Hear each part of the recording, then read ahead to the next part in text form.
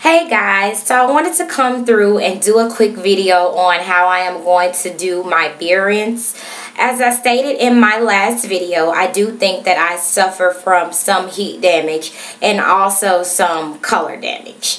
I colored my hair three times last year and the last time was at the end of September and that's when I really noticed that the crown of my hair was really really loose and in the front the curls have become really really loose as well and I actually do not like that my curls are so loose so I want to try the beer rinse because I have heard so many things about it and I want to see if it's going to help tighten my curls up a little bit.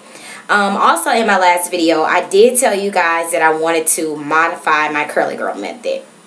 And by this, um, what I mean by modify is I wanted to change something in the routine that I normally do. And so what I'm going to start doing now is I'm going to shampoo my hair once a month with regular shampoo.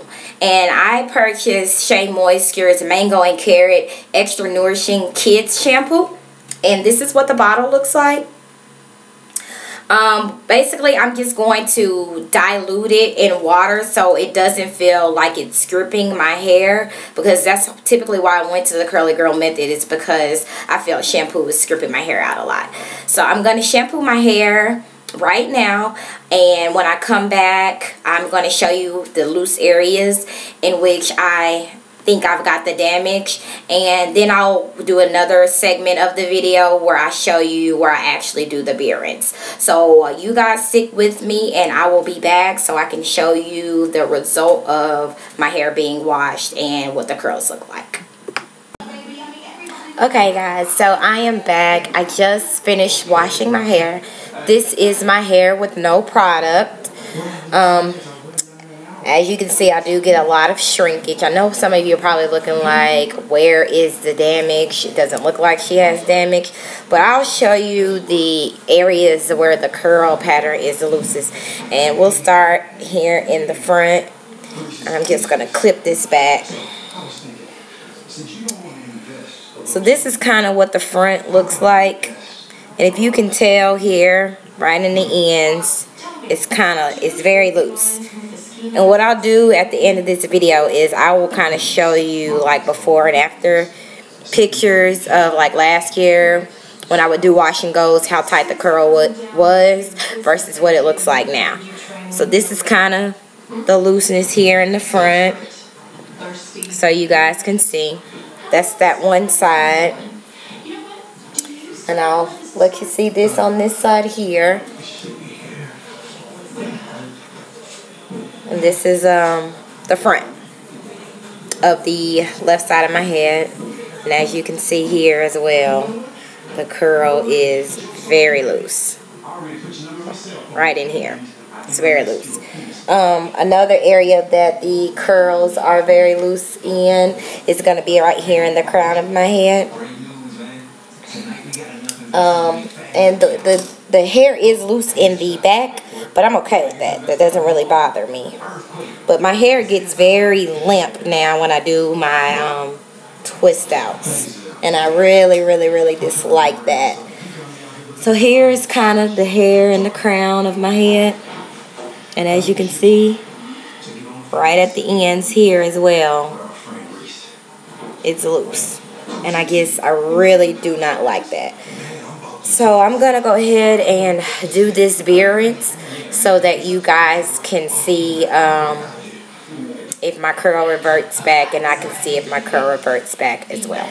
So give me about one minute to set that up and I will be right back with you guys. Okay guys, I'm done rinsing and I'm trying to see if I notice a difference and I can't really tell. So I don't want to be deceiving and be like, oh yeah, I saw a major difference. I I honestly can't tell. I'd have to probably do it again to be able to give you an honest review on if the beer rinse work.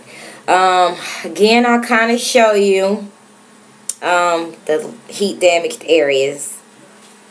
And I don't know if you got you guys can see this. I'm I'm hoping you guys can see it.